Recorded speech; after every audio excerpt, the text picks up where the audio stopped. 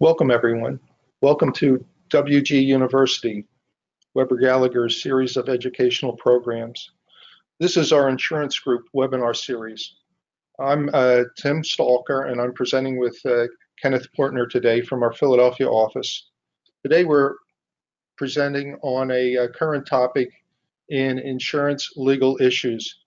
If you would like to uh, view this webinar again, or share it with others, or see other uh, WG University programs, please visit the Weber Gallagher website at www.wglaw.com. And you'll find uh, copies of this presentation and others under the uh, WG University page. Also, feel free to contact the firm with any questions at questions at wglaw.com. Today's presentation is uh, Reinsurance 101. I think you'll find it interesting. Uh, let's get started. It's our required disclaimer. I'm not going to read it to you. So today's agenda is what is reinsurance?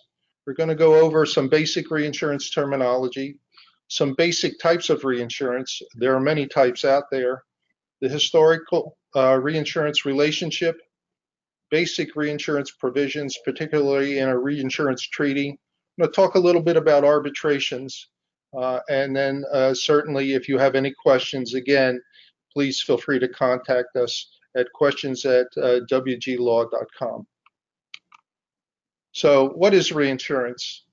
Uh, reinsurance, and here's the uh, formal definition, uh, is an agreement whereby a company agrees to indemnify an insurance company against all or a portion of the loss that the insurance company sustains under a reinsurance policy or book of business issued by the insurance company. In uh, abbreviated uh, terminology, reinsurance is insurance of insurance companies.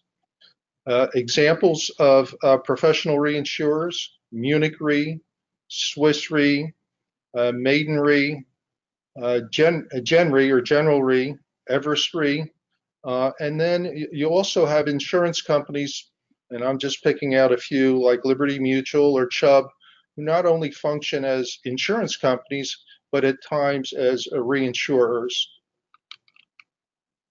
So uh, we've, we've, talked about what it is. It might help to uh, define it in your mind or, or make it clear in your mind to talk about what it is not. So, I mean, the hallmark of the reinsurance is that it's a relationship between an insurance company and in effect another insurance company. But the reinsurer does not have any direct relationship with the insured, the, the party that is, is having either the claims asserted against it in a liability context or a, a party that is asserting a claim under a policy in a first party context. So some examples of things that, that you know, people may think are reinsurance but are not in fact reinsurance are an umbrella policy an excess policy. Those are two forms of insurance that are not primary insurance usually and that backstop a, another primary policy or sometimes a self-insured retention but but that's not reinsurance because the excess and the umbrella carriers have the relationship with the insured not with another insurance company surplus lines insurance i mean that's that's uh, surplus lines insurance of course is insurance that is not admitted uh, in a particular jurisdiction uh, and therefore is subject to uh, somewhat less regulation uh, and uh, can write risks that are, are not typically accepted by admitted insurers. But again, it's not a, a reinsurance, that's a direct insurance relationship with an insured. Co-insurance. Uh, this would be a situation where you you might have several overlapping policies. Um, it might be a situation where you have different types of coverages applying to the same loss, but again, it, it's it's not reinsurance because that relationship is between the insurance company and um, the uh, uh, insured, not between two insurance companies. Uh, self-insurance, a similar concept, and then there are risk pools, which again are, are similar in concept, but again aren't reinsurance because of the, the nature of the relationship. Now, um, sometimes there are um, reasons that that a, a, entity might want to have co-insurance instead of reinsurance. Um, it, it, can uh, produce the same effect, um, but uh, for various reasons, uh, companies might choose to, to get a co-insurance situation with multiple policies instead of reinsuring it. So, anyway, that that's the basic uh, rundown of, of, comparison, if you will. Um, so let's talk about some of the terms that are, are, are used in the reinsurance relationship. So uh, obviously reinsurer, this is the company Gen Re, Munich Re, or uh, you know a domestic insurer that's serving as a reinsurer that has the relationship with the the insurance company. And the insurance company in this relationship, sometimes referred to as reinsured, cedant, cedant, or ceding company, and again, this is the, the company that in effect is ceding part of the risk to the reinsurance company. And uh, typically in the reinsurance uh, field, the reinsurer does not accept the entire risk. Uh, instead, it accepts a portion of that risk, uh, and the amount that is is not accepted but is instead uh, kept by the cedent is called the retention. Um, now, there is a, another form of reinsurance. It's reinsurance of reinsurance, and the, the that insurer would be referred to as a retrocessionaire. Um, and again, the principle is is just one removed from the cedant reinsurer uh, relationship. This is now a relationship between a reinsurer and and yet another insurer. And then there's something called a fronting arrangement, and what that uh, it, it involves is typically a situation where an insurance company wants to uh, write coverage, for example, in a jurisdiction where it's not authorized to do so, uh, or um, wants to get into a, a, business and take advantage of another entity's customers. I don't literally mean take advantage, but rather leverage another uh, insurer's customers. And so what happens in that situation is the reinsurer assumes 100% of the program including the licensing issues, and, and pays a fee to the insurance company, the cedant, whose paper the reinsurer is using. Now, that's somewhat different from the normal relationship, which, as I mentioned a moment ago, involves uh, not a complete uh, ceding of the risk to the reinsurer. So um, we've identified the, the, the, general terms of the, of the uh, players. What are the different types of reinsurance? Uh, facultative. That involves a reinsurance of a specific risk. Um, and so, as an example, Yankee Stadium, when that was built, uh, given the amount involved, um, there were specific reinsurers who accepted uh, the construction risk uh, uh and you know, builder's risk for that, that project, and that was only with respect to uh, losses or claims that would be asserted under the ceding policies. There's also a, a type of reinsurance called treaty reinsurance, and this is uh, a, a broader arrangement where instead of specific risks being identified, the reinsurer will agree to accept uh, an entire class of risks. So a workers' compensation insurer may have insurance for all of the workers' compensation loss and risk. Uh, it could be in a particular state, it could be nationwide. There, there's a lot of uh, leeway that, that the, these entities have in negotiating these arrangements. Property casualty. So again, as distinguished from facultative, that's something that's an entire book of business. And then uh, another category is catastrophe reinsurance. So this would apply to certain defined catastrophes. Of course, you, you can't anticipate the catastrophes, but um, that would uh, serve as a backstop to the, the really serious uh, uh, and severe risks that could uh, bankrupt an insurance company. Uh, so those are the, the three types of, of, reinsurance that are typically seen.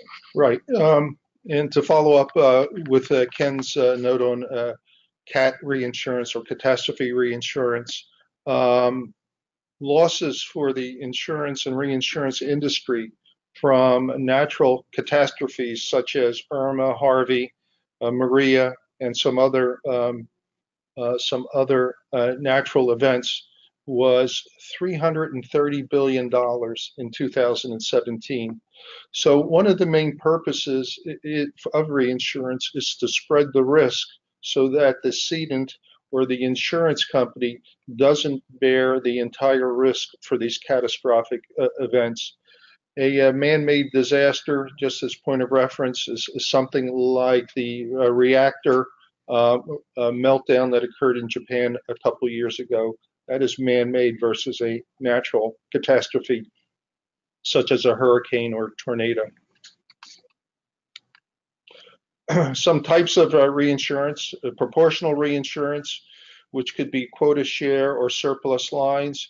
What quota share means is that the reinsurers generally follow from dollar one and take a proportionate amount of risk uh, on uh, policies that the cedent or insurer writes.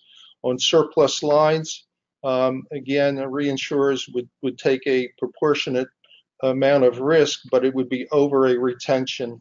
Many times that retention for smaller, car- very small carriers, it could be $100,000.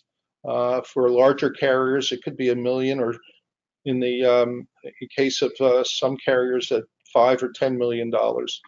Excess of loss is reinsurance coverage in excess of uh, a retention. Again, it can be a- any amount, but generally it's a million, five million, ten million.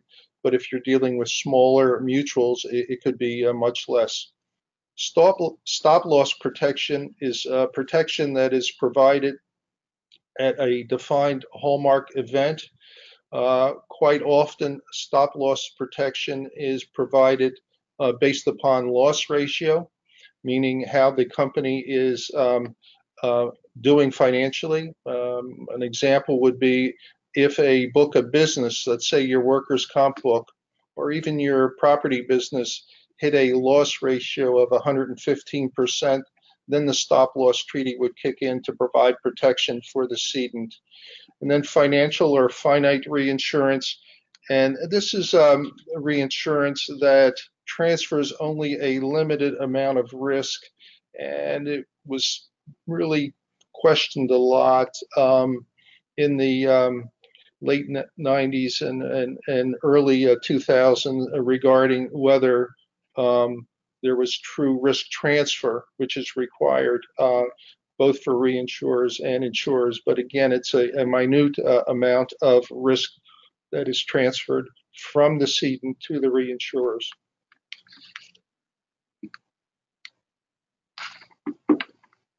Okay. Okay. So here's a uh, typical reinsurance program. I'll let Okay. Ken run So, through. so the example would be, uh, and this would apply either to treaty or facultative. Um, so you, you would have an initial layer, four million per occurrence, uh, in the aggregate, excess of a million per occurrence. Then a five million dollar per occurrence slash aggregate excess of five million per occurrence, and a 10 million per occurrence uh, slash aggregate excess of 10 million per occurrence.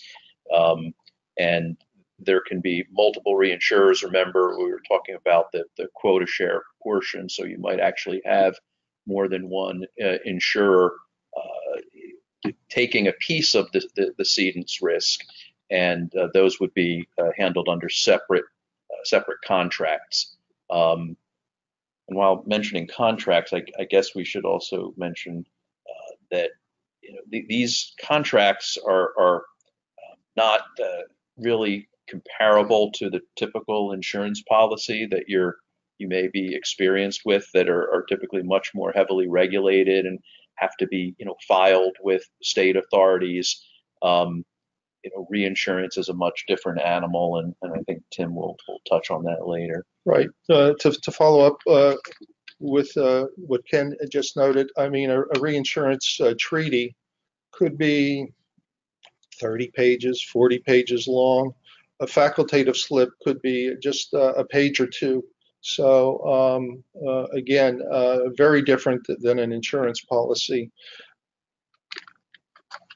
Okay, the historical relationship. Way back when, um, re the, the, reinsurance uh, relationship was done uh, by a handshake. Um, if, if you um, look back historically, it um, occurred um, over 300 years ago in, in Lloyd's in a, uh, a, coffee shop or two uh, where um, insurers would get together and over a handshake agree to uh, share the risk regarding uh, some of the ships that uh, were sailing uh, in the British Empire. It was considered an honorable undertaking historically. At one point, um, the relationship and the agreement were written on napkins at the coffee shop or a piece of paper. Both sides agree to utmost good faith in carrying out their agreement, and um, reinsurers agree to follow the underwriting fortunes uh, of the cedent and follow the uh, claim settlements of the cedent. That that was the historic relationship. It's become much more uh, contract related, much more complicated in the in the past 320 plus years. so utmost good faith. It's it's one that these um, these couple of cases, by the way, are kind of preeminent in, in the field on utmost good faith. There's still good law. Uh, many of the subsequent uh, cases that are out there uh, cite these cases as precedent. And by the way, um, compared to insurance law, there's not that much reinsurance law out there. Why is that? Because most reinsurance um, disputes are handled through arbitration, uh, which is provided generally in uh, the facultative certificate and also in the uh, re, uh, reinsurance agreement, the treaty agreement. So by and large, disputes are, are handled by arbitration uh, versus litigation. So the, as as we said, the reinsurance relationship between the ceding company and the reinsurers was described as uberrimae. I can't even pronounce uh, Latin at this point, uh, but it, it's utmost good faith. And for those who know Latin, uh, they know it, it translates into utmost good faith. And at one point, it was unclear whether this duty of utmost good faith was one way. In other words, uh, to, between the cedent to the reinsurer, or is reciprocal.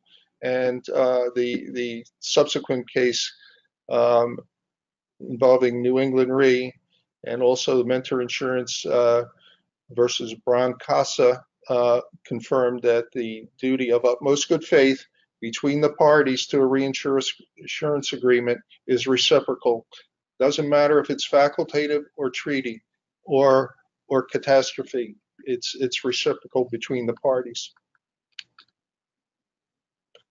However, the effort to uh, extend the uh, duty between a cedent and reinsurer uh, to that of a fiduciary relationship has had uh, mixed uh, support. Um, there is some support uh, in uh, the in Illinois with the concept that it is a fiduciary relationship between the ceding company and the reinsurer. However, the majority of the courts uh, have declined to find a fiduciary relationship between uh, ceding company and reinsurer. So again, utmost good faith in most jurisdictions. It's not a fiduciary relationship. And as you all know, if it was a fiduciary relationship, that would call into uh, effect uh, other uh, duties and responsibilities.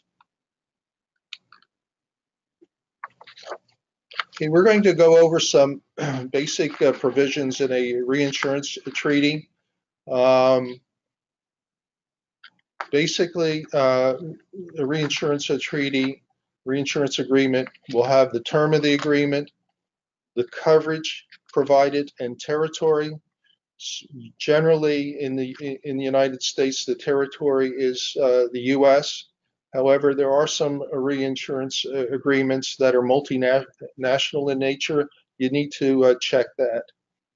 Many reinsurance agreements have warranties that the cedent uh, makes to uh, to the reinsurer. There's naturally a provision for premium, how premium is paid, whether premium can be offset by loss. Uh, there's an ultimate net loss provision, which means uh, how the reinsurers pay in excess of the retention. Uh, policy uh, defines what a loss occurrence is. Again, reinsurance agreements uh, will have the term loss occurrence. It differs, and we'll see it shortly, than the term occurrence, which is in most insurance policies. Has a claims handling provision, an arbitration provision. like policies, there's exclusions in uh, reinsurance agreements, a definitional section, and an access to records uh, section, uh, which is important to reinsurers. So in going over just, um, for example, what a loss occurrence is, and I, I pulled this out of uh, one of the uh, reinsurance treaty. It's any accident or occurrence or series of accidents or occurrences arising out of one event. And uh, for example, in this particular uh, treaty, it says as respects products bodily injury, injuries to all persons and all damage to property of others occurring during a policy period and proceeding from or traceable to the same causative agency shall be deemed to arise out of one loss occurrence.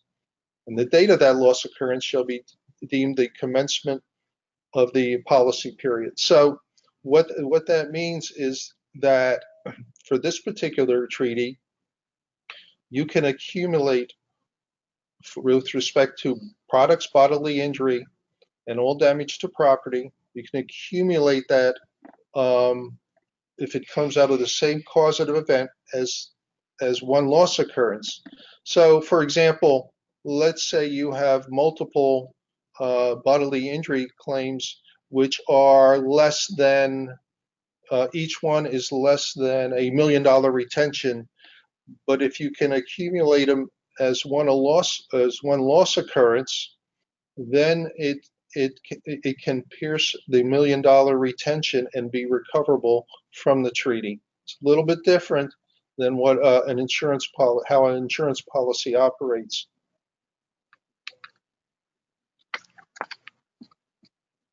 The uh, reinsurance agreements have a claim handling provision Generally, they give uh, the reinsurer the right to associate, if it so chooses, in the handling of claim.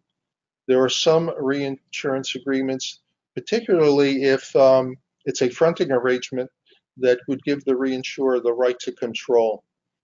For the most part, overwhelmingly, the reinsurance uh, agreements give reinsurers the right to associate uh, overwhelmingly, reinsurers uh, do not associate in the handling of, of, the claim, although they have that right.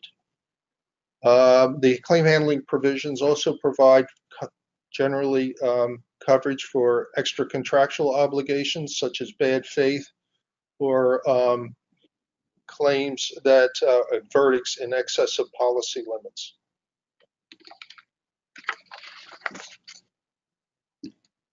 So um, since the reinsurer, of course, is, is several steps removed from the loss itself, uh, uh, there are notice requirements uh, in the uh, reinsurance contracts uh, that require the cedent to again provide notice. And this is this is not that much different from what you may be familiar with with a, a, a an excess insurance policy.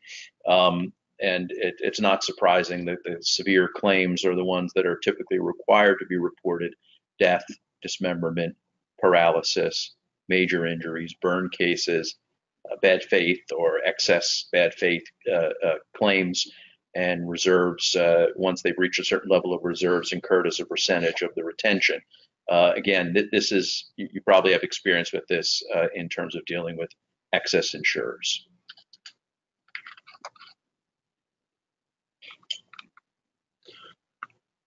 Claim handling. Um, wanted to outline a few areas of, of concern uh, that arise between cedents and reinsurers, and it's um, failure of, of the cedents to uh, report a claim timely, or how uh, the uh, cedent, in particularly in a uh, let's say an environmental matter, asbestos, a progressive injury matter, allocates the loss or or defines the number of occurrences. Inconsistency in presentations of the same claim type uh, uh, over the years. Uh, failure, failure to report uh, bad faith cases or punitive damages. Uh, ex gratia payments. Um, if uh, the cedent is going to make an ex gratia payment, it may not be covered under your reinsurance agreement, and it may be a good idea to attempt to get a sign off uh, before you make an ex gratia payment. And the other uh, issue are inadequate reserves, uh, very, an area of concern uh, for reinsurers. As a result, uh, they have the right to, uh, reinsurers have a right to inspect and, and audit the books of the cedent. It's an important right uh, for reinsurers, particularly um, um, if um, if there's concern over reserve adequacy. Uh, in the reinsurance uh, agreement, the reinsurance treaty, it's it's um, it's the right to inspect, audit uh, the cedent.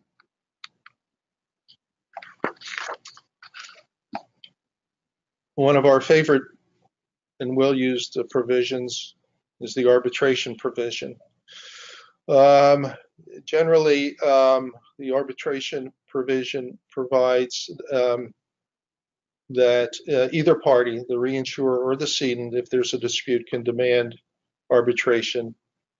Uh, each side uh, selects an arbitrator, and generally the requirements are that they have to be active or retired disinterested executive officers of insurance or reinsurance companies in the United States or uh, elsewhere, uh, or Lloyd, Lloyd's of London's underwriters. So what, usually the selection process involves uh, the two arbitrators being selected, and then they try to select a third within a limited time period. And if the parties can't agree uh, it's decided by a coin flip. The Dow Jones Industrial Average, average even or odd, um, or other uh, mechanisms uh, agreed by the party. It's a little bit disconcerting that a, uh, let's say a, a reinsurance arbitration that could be worth 10, 20, 30 million, you're deciding the umpire on a coin flip or the Dow Jones Industrial Average. Um, and the the the panel, the two arbitrators, and the uh, umpire are guided by the language of the arbitration provision, which generally says that it's the the reinsurance arbitration and the uh, uh agreement are an honorable engagement. In other words, uh, the arbitration will go forward as an honorable engagement, meaning that the arbitrators and the panel are not confined to the strict rules of law. They look to the uh, business side. As I said, generally the panel's seasoned uh, in industry professionals. A lot of times they are ARIAS certified uh, arbitrators. Um, they also uh, not only uh, uh, understand the legal issues, but also the business side. You don't have to be a lawyer or have a legal background to uh, to sit uh, on an arbitration panel for reinsurance issues. You can be an underwriter, a claim person, an actuary. And this is an interesting point, I think, because if if you conceive of arbitrators as substitutes for judges, you'll be you know familiar with certain rules that are applicable to contract litigation, for example, parol evidence or um, uh, the other sort of technical uh, rules that apply to interpretation of contracts.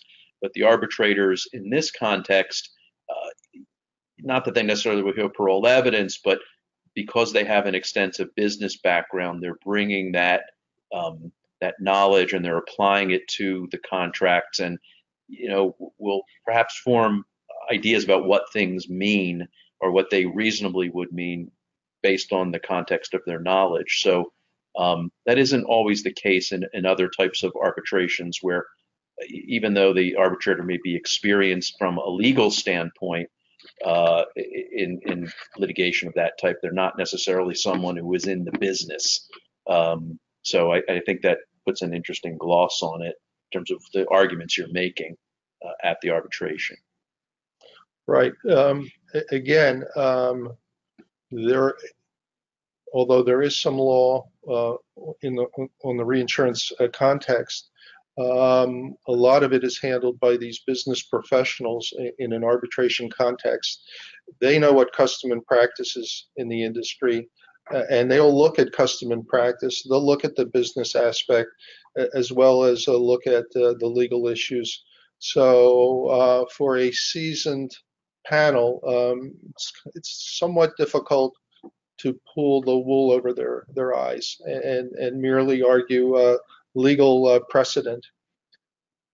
Um, one, uh, one other note is that um, once you impanel the three person panel, uh, each of the arbitrators and the umpire have a duty to disclose their relationships not only with the parties involved but with other with the other panel members and also the law firms involved you'll find that there are some instances where the same law firm has appointed the same person uh, time and time again, or, or the same party at the arbitration.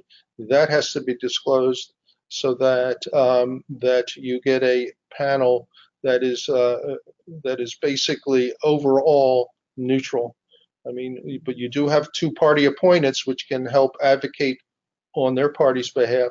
But overall, you want a fair uh, a fair uh, panel to, to hear the issues. As a result, arbitrations tend to be wide open and expensive when compared to litigation. Um, you're paying the full freight for uh, your party appointed. You're paying half of the um, umpire's um, hourly rate, and those rates can be $400, $500 an hour. You're also paying, uh, should you go to hearing, uh, generally, more times than not, they're in New York, so you're paying for their hotel bills, meals, and, and the like. And there is a tendency uh, to arbitrate the same issues over and over again, particularly with respect to environmental, asbestos, and other progressive injury uh, type cases. They're still they've been arbitrating these uh, these matters for 25 years.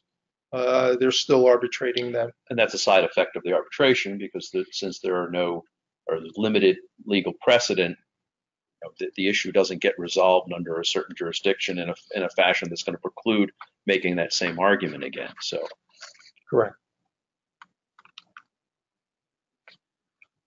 So the current state of um, the relationship is generally reinsurers will follow the fortunes, again, underwriting fortunes, follow the claim settlements of the ceding company absent a showing of fraud, collusion, bad faith, or an ex gratia payment. Um, I, I, cited uh, Travelers again. Travelers is uh, is still good law. Uh, here, um, a, um, it, it, involved a, an environmental uh, loss. Travelers was the cedent, Gerling Global the reinsurer, and during the course of negotiations between Travelers and and the policyholder, um, travelers uh, settled but abandoned one of their arguments that they made uh, to the policyholder. And Gerling uh, uh Global uh, um, rejected the, the, billing that it received from travelers, uh, alleging that it was being billed on on the ba- on a basis that travelers had abandoned that particular methodology in its negotiations with the uh, with the policyholder, and the court ruled that um, the reinsurer, in this case Gerling, is obligated to follow the cedent's post-settlement allocations, regardless of whether the allocation reflects a position initially taken by the cedent and abandoned, as long as that billing was in good faith. So here, a Gerling was required to follow the settlements of um, of travelers and, and, and indemnify them for the environmental loss. And contrast that to um, Allstate v. Uh, American Home uh, matter, in which the cedent's position was uh, so inconsistent with respect to the number of occurrences and how it billed the reinsurer that the court ruled that it was not acting in good faith in its post-settlement allocation a, a loss uh, with its reinsurer and ruled that uh, the reinsurer did not have to follow the settlements uh, uh of uh, of the cedent in that particular action. And one thing I want to point out is that uh, when you read these decisions, um, the courts tend to blur, follow the settlements and follow the fortunes um, together. Uh, so sometimes, uh, again, they'll talk about follow the settlements and follow the fortunes regarding a claim uh, billing to a reinsurer. Can you explain the difference? Yeah, again, uh, follow the uh, follow the fortunes is following the underwriting fortunes uh, of the cedent. What the what the cedent underwrote as a reinsurer, you should you should follow that that fortune. So the reinsurer can't say, well, that was a you shouldn't have written that risk, and and therefore I'm not going to participate. Technically correct. Sometimes sometimes there are outliers that the cedent should should have brought to the reinsurer. Follow the settlements, of course, is following the claim settlements of the uh, of the cedents uh, once the case is done. So for follow the fortune, I mean, there could be a dispute between the reinsurer and the insurer over whether the reinsurer actually accepted that type of risk within it, within its treaty. Correct. Correct. Overwhelming, though, the uh, reinsurance disputes are on um, on settlements, claim settlements. Saying in, a, in essence that you shouldn't have settled that. Shouldn't have settled it, or you're you're billing me differently than you how you analyze the case or you're trying to uh, maximize uh, reinsurance, which is not reflected in your uh, your loss analysis. Okay, so we've reached the point again. Um, if you have any questions, uh, please um, please send your questions to questions at wglaw.com. And uh, Ken and I would like to thank you for attending uh, our webinar, which is Reinsurance 101. Uh, I do want to say we've only touched on a small portion of reinsurance. There's so much more out there. There's not only um, um, the reinsurance with respect to um, how treaties operate, but also uh, there's there's much more out there on reinsurance transactions, uh, how um, how um, reinsurance is purchased and uh, and um, and allocated in the marketplace. So if you want to want to learn more about this program and other Weber Gallagher events, you can do so at http dot slash slash www.wglaw.com slash wg dash university. I'm glad I got that final portion correct. I think that was the hardest uh, thing. Thank you very much. Thanks very much. Have a good day.